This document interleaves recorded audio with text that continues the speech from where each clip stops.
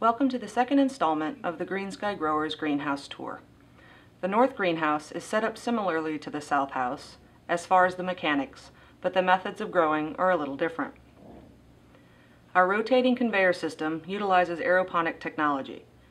The inside of the pots are hollow, which allows the roots to just hang down the inside of the pots.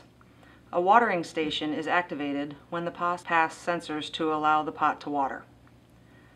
Water flows through the pots and is returned to the tanks via catch tubes. Varieties growing in this system include basil, parsley, oregano, thyme, chives, mint, and rosemary.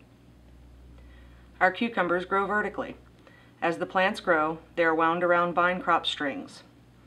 The roots grow down into bags containing either rock wool or coconut fiber. The 360 towers also utilize aeroponic technology. The pots are hollow and each pot rotates to allow maximum sun exposure throughout the day. Some of the different varieties grown in our 360 towers include radishes, Swiss chard, tatsoi, pak choi, nasturtium, kohlrabi, and celery.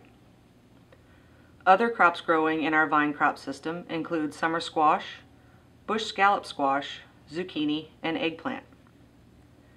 We also grow approximately 10 different types of heirloom tomatoes. In this system, water continuously flows through a PVC tube. Underneath the tubes, we have a raft system growing everything from Brussels sprouts to cabbage.